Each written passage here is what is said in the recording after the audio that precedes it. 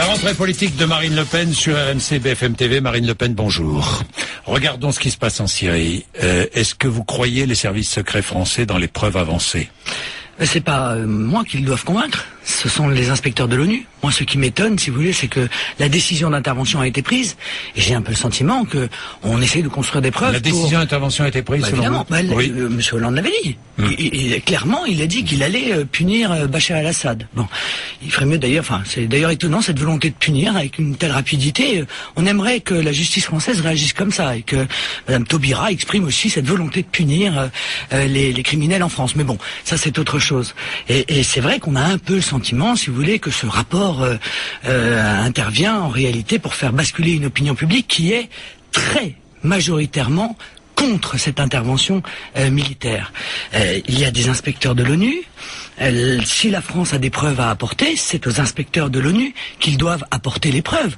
Cette déclassification euh, et, et le fait de rendre public euh, bon un rapport de, de, de services qui Et sont quand images, même oui. qui sont quand même évidemment sous la responsabilité politique hein, du président m'apparaît être tout à fait une exception.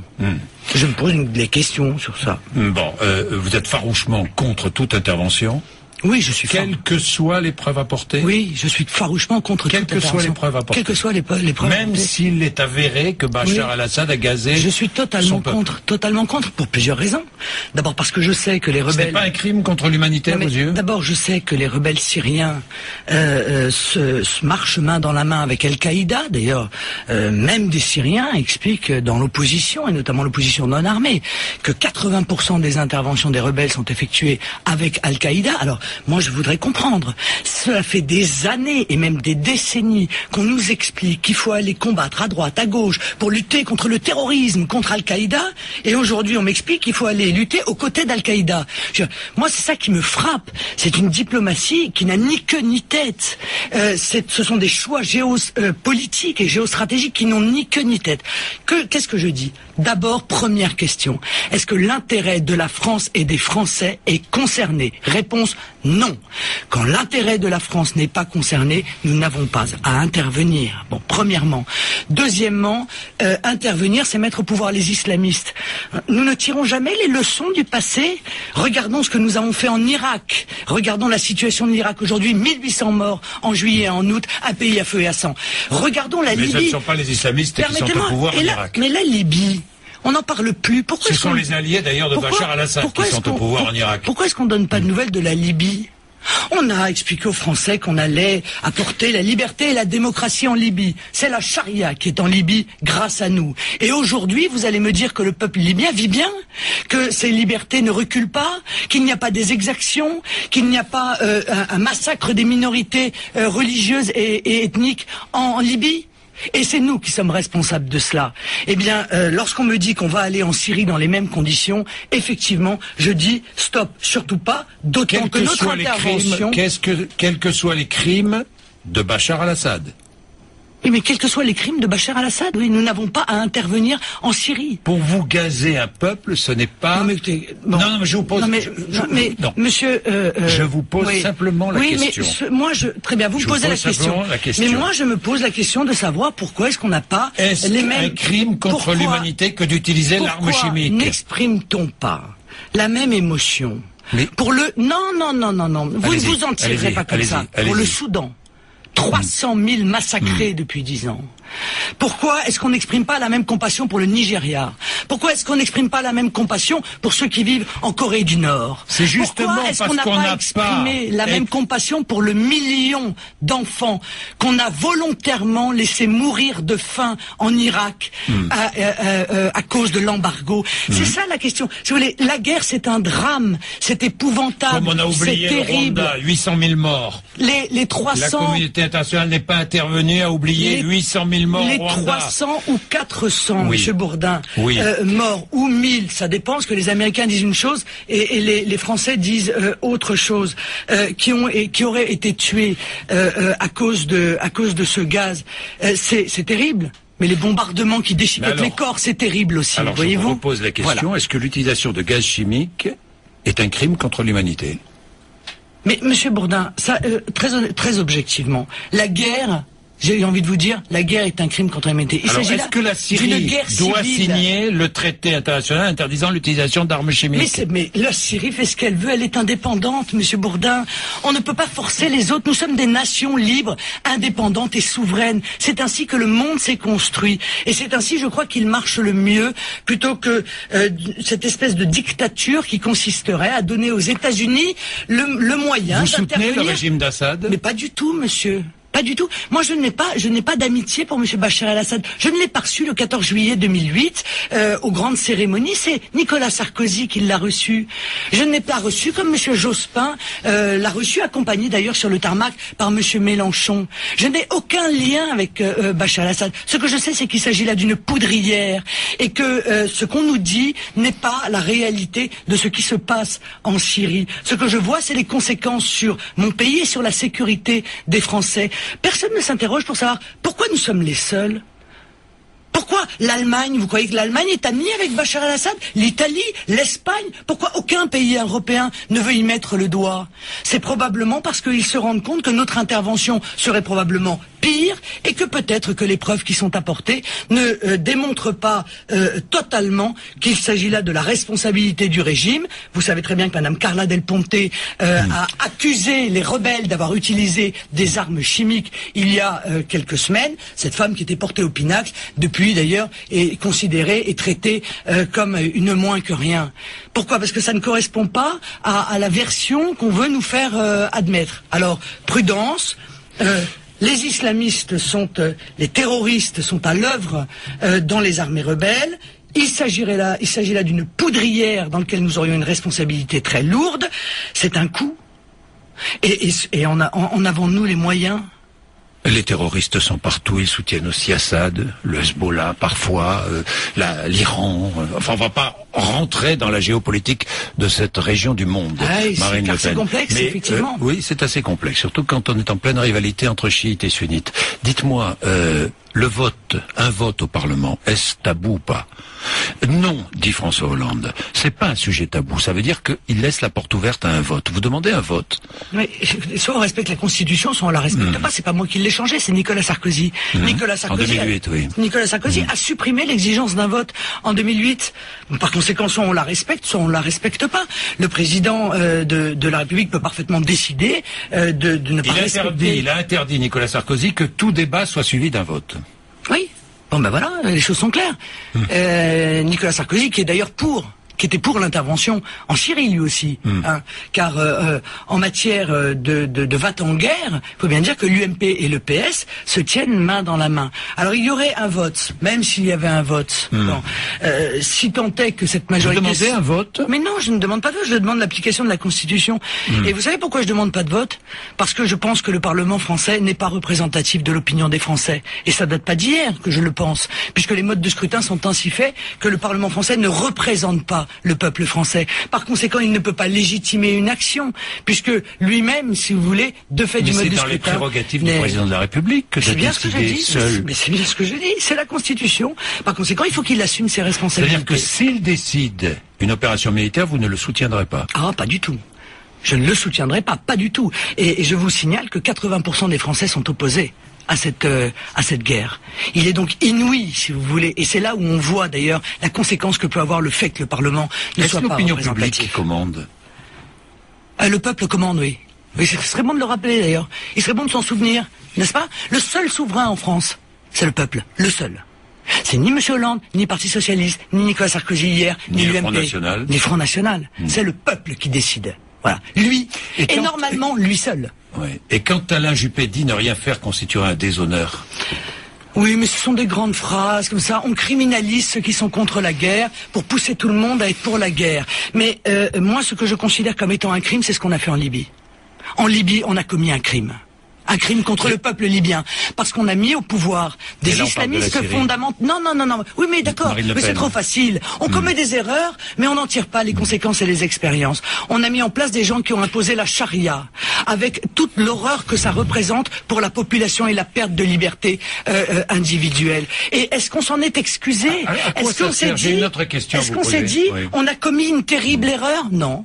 J'ai on une autre avance, question on continue, poser, euh, on passe à un autre pays. à, à- à quoi ça sert d'avoir une force de dissuasion si euh, tout le monde sait que nous ne l'utiliserons pas Mais Une force militaire, si tout le monde sait que nous l'utiliserons pour se protéger nous-mêmes. uniquement pour se protéger. Le- oui, le président de la En République. intervenant en Syrie, nous ne, nous ne nous protégeons pas. Monsieur, le président de la République Oui. est là pour Oui. protéger les intérêts de la France et des Oui. Français. Il serait bon de s'en souvenir, car on a le sentiment euh, que euh, euh, on- est là pour défendre des intérêts qui sont autres, peut-être ceux de l'Arabie Saoudite ou du Qatar d'ailleurs, qui sûrement ont eu une influence dans le positionnement euh, de François Hollande, compte tenu des liens de plus en plus euh, étroits qui existent entre euh, le PS aujourd'hui et l'UMP hier et euh, ces dictatures monarchiques. Car parlons de l'Arabie Saoudite.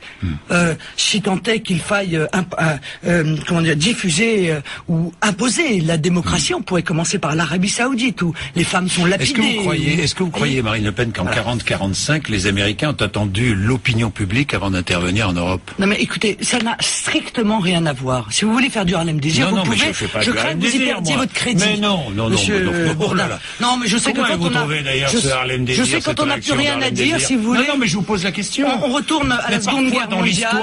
C'est d'ailleurs, c'est d'ailleurs, ça s'appelle le point. Godwin. Hein, Mais ça, ça a non, été. Marine, voilà. Marine Le Pen, dans l'histoire, parfois, euh, vous on n'a pas le temps de suivre l'opinion publique. pourquoi- pourquoi- Les décideurs sont là pour pourquoi, décider, non mais pourquoi allez-vous aussi loin? Vous voulez parler d'histoire Vous voulez Non, parler mais je vous pose d'expérience la question, Mais, je vous pose la question euh, Retournons simplement. Hmm. quelques mois derrière, en Libye. Voilà. Euh, et en Libye, on, a exactement le même le même processus. Euh, la Seconde Guerre mondiale n'avait strictement rien à voir avec ça. La Syrie, nous sommes confrontés à une guerre civile. Bien. La réforme des retraites. Oui. Changeons totalement de sujet. Cette réforme des retraites. euh, euh, D'abord, vous, la- vous dites que c'est une mauvaise réforme. C'est pas une réforme. hein, je, je vous ai lu. C'est une petite réformette. hein, euh, ce sont les plus modestes qui vont payer, Les familles aussi. les familles qui vont payer. Euh, Est-ce que vous seriez prête à descendre dans la rue le 10 mardi prochain avec la CGT Force ouvrière pour protester contre cette réforme Non, même même réponse Mais, que je- ouais. je- je- je- j'ai eu l'occasion de vous faire à chaque fois. Moi, je ne euh, je ne manifeste pas aux côtés des complices. Voilà. Je ne manifeste pas aux côtés Oui. des complices de la situation économique de la France. Or, je tiens la CGT comme totalement complice de la situation économique de la France. Voilà. Et de la situation dramatique aujourd'hui euh, des salariés français. Ce que je vois, c'est une très belle continuité quand même entre la politique menée par Nicolas Sarkozy, hein, la réforme Fillon, et celle qui est proposée aujourd'hui par François Hollande. Quel que soit le domaine, d'ailleurs, on s'aperçoit qu'on ne voit strictement aucune différence entre les politiques qui ont été menées. Ce qui me permet de dire que lorsque nous parlions de l'UMPS, je pense très honnêtement que nous étions extrêmement près de la, réalité. Ce, qui est sûr, si vous voulez, et ce qui me frappe, ce qui me choque et ce qui choque les Français, c'est que avant même de réfléchir à effectuer des économies sur les dépenses néfastes de l'État, avant même de mener une lutte contre la fraude sociale, avant même d'envisager d'arrêter euh, de donner 7 milliards euh, nets à l'Union européenne euh, chaque année, avant même de réduire les dépenses de l'immigration, on demande des sacrifices aux Français. Alors moi je dis, voilà, la, la position qui est la mienne, commençons par faire toutes les économies qu'il est nécessaire de faire, et s'il s'avère que nous avons encore besoin de trouver un financement, alors nous nous tournerons vers les Français qui probablement, dans ces conditions-là, accepteront de faire un sacrifice. Mais là aujourd'hui, ils ont le sentiment que toutes les vannes sont ouvertes, qu'on dépense à tort et à travers, qu'il y a des gaspillages inouïs et que c'est toujours à eux que l'on réclame euh, des sacrifices et que l'on réclame de se serrer la ceinture. Marine Le Pen, euh, année importante, puisqu'année électorale avec les municipales, les européennes. En France, vous savez, toutes les- euh, oui, ou toutes les oui, années bah, tout-. Mais toutes les, toutes les minutes aussi sont... euh, oui, oui, vous avez raison, euh, vous Voilà. êtes tous pareils, hein non Bah, c'est pas vous êtes tous pareils, c'est pas, vous voulez gagner les élections. C'est pas moi vous qui décide les élections. Vous voulez gagner les élections, j'imagine. Oui, mais je veux gagner- imaginons. oui, D'abord, est-ce que vous pensez que vous serez en tête aux européennes? Je pense que c'est une hypothèse euh, crédible. Oui, car les, les Français ont tout de même compris euh, quelles sont les conséquences euh, des, des dictats de l'Union européenne sur leur vie quotidienne et puis sur la perte de liberté de la France. Voilà, Euh, les Français ont envie. Qu'est-ce que ça changera Les, les si vous Français sont, en un, tête aux sont un européennes peuple libre. Qu'est-ce que ça changera selon Bah, vous ce, qui, va changer, c'est que nous ne sommes pas les seuls. Euh, nous allons arriver, je crois, au Parlement européen avec, avec euh, un grand nombre de députés patriotes euh, venant de tous les pays de l'Union européenne et qui vont œuvrer pour euh, et qui vont agir au Parlement européen pour casser euh, cette, euh, cette, Alors- si vous, si vous voulez, cette, cette, cette euh, perte de souveraineté. Ça veut dire qui quoi est la Ça veut dire que l'Europe va de devenir anticapitaliste? Mais ça veut dire que ça veut dire qu'on va revenir. ça veut dire que nous allons plaider, défendre là-bas l'intérêt de nos pays respectifs Anticapitaliste et de nos peuples. Vous êtes anticapitaliste, vous Ah, ou je suis euh, euh, clairement euh, contre l'ultralibéralisme. Oui. Clairement. Je suis pour une économie de marché. Je pense que c'est le, le meilleur fonctionnement. Mais je pense que l'État a son rôle à jouer. Et l'État doit marquer les, les règles du jeu. Il n'y a jamais, il n'y a pas un jeu où il n'y a pas de règles. Prédominance Or, de l'État. Prédominance de l'État. L'ultralibéralisme, c'est un jeu Oui. Hmm. sans règles. Bon. Or, je n'accepte pas ça. Je veux un État souverain. Je veux un État stratège. Je veux un État qui empêche les abus, qui empêche euh, les, les dérives, mais qui laisse l'économie euh, de marché fonctionner euh, en faisant imposer, en imposant, si vous voulez, les règles d'une concurrence libre qui n'existe pas aujourd'hui, parce qu'aujourd'hui c'est la loi de la jungle. Bon, concurrence libre, donc l'État qui doit jouer son rôle. Protectionnisme. Protecteur, protecteur l'État. Oui, et protectionnisme aux frontières, Protectionnisme aux frontières. comme beaucoup d'autres pays du monde aujourd'hui le font. une forme de nationalisme, euh, de nationalisme. Non, de patriotisme, oui. Patriotisme, oui. oui, Oui, oui, j'assume, oui, nationalisme, Je suis le oui. tenant et le défenseur d'une grande politique patriote. Voilà. Parce que je lis ici ou là, on est en train de revivre en Europe aujourd'hui ce qu'on a vécu dans les années 30. Ça y est, ça recommence. Mais je, non, mais je, je vous pose la question. Non, mais- parce que beaucoup le disent. Oui, oui, bien Alors, sûr. qu'est-ce que vous répondez à ça ça, c'est le genre d'argument que, que... je- Non, mais c'est ce que vous pas un voyez bien. argument, c'est une- Non, c'est mais pas ce un sont- argument que Non, je développe. vous avez raison, c'est pas un argument. C'est pas un argument que je développe une- moi. C'est une Marine Le Pen, c'est une référence. question que je vous pose. Oui, c'est une référence qui est utilisée par ceux qui n'ont rien à dire pour Hmm. faire peur au peuple. Voilà. Or, le peuple, lui, n'a pas peur. Le peuple, il n'a pas peur de la liberté. Il n'a pas peur d'un pays souverain. Il n'a pas peur de dire à l'Union européenne que il veut que les lois qu'il décide pour lui-même passent devant euh, les, euh, le- les, les, les directives imposées par l'Union européenne. Il n'a pas peur de dire que, eh bien, il, il Hmm. veut qu'à frontières, d'abord avoir des frontières pour décider qui entre et qui se maintient sur le territoire, Nos par exemple en matière d'immigration. Euh, elles sont, elles sont pas corrompues dans Notre identité est menacée? Oui, bien sûr. Bah, Notre identité est menacée. notre liberté est, Par est quoi? menacée. Par qui? Mais évidemment, notre identité est menacée, puisque euh, on- l'Union européenne cherche en réalité à tuer l'intégralité des identités pour en faire une identité commune. Donc, évidemment, l'i- l'identité des pays euh, Mais qui est l'ennemi? européens est menacée. Par qui? Ben, D'abord par l'Union européenne. Deuxièmement, l'identité est menacée parce que nous vivons une immigration massive. Par les et, musulmans Et anarchique. Par les musulmans Nous vivons une immigration massive et anarchique. Je sais que vous adorez euh, Mais pas du tout, je cette- vous pose ces- la ces question. débats-là. Mais oui, nous vivons. parce que- voilà. Moi, je vais oui. vous donner un exemple. Parce que j'ai envie de non, mais je vais vous connaître donner le un fond de exemple, votre pensée, Marine Le. Pen. C'est pour ça, c'est pas- L'école, je- On est le jour de la Oui, rentrée. oui. Parlons de l'école. Oui. L'école, qui est le creuset républicain. Dans une classe où euh, de, Hmm. de 24 élèves, où il y a 17 nationalités différentes. Hmm. Qui euh, s'assimile à qui? Euh, où est le creuset? Hmm. Voilà, c'est ça le problème. C'est que euh, C'est-à-dire qu'on fait des classes pour les Français de Non, souche monsieur. et puis on fait non, des classes pour euh, ça veut dire que nous en les avons fait d'origine étrangère. Ça veut dire que Oui. Nicolas Sarkozy et François Hollande ont Oui. mené une politique d'immigration massive Oui. euh, et qui interdit aujourd'hui d'effectuer une assimilation correcte de ceux qui sont en France. Voilà Mais ce alors, que ça veut dire. comment il faut donc, Monsieur Bourdin, il faut donc arrêter l'immigration. Arrêter. Donc notre identité Voilà. est menacée.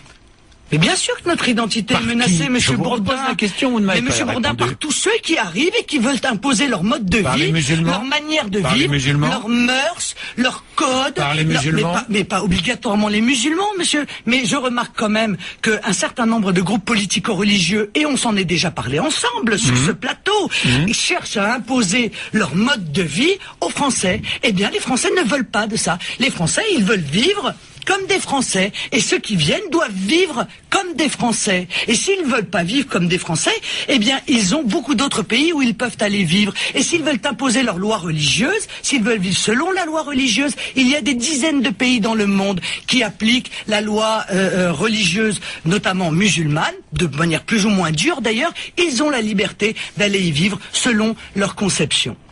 Marine Le Pen était notre invitée ce matin, il est 8h55.